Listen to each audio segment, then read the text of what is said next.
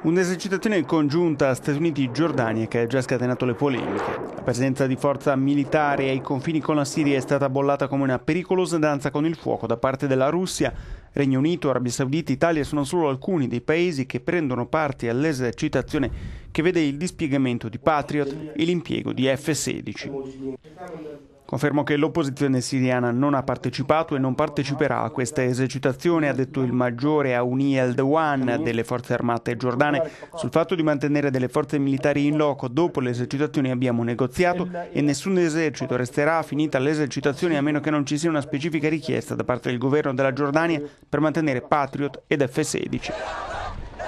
All'operazione, denominata Eager Lion, prendono parte più di 8.000 militari concentrati a meno di 120 km dal confine con la Siria. Ieri intanto per le strade di Qusair, vicino al confine col Libano, si sono viste scene di giubilo per la riconquista della città da parte dell'esercito fedele a Bashar al-Assad con l'appoggio dei militanti di Hezbollah.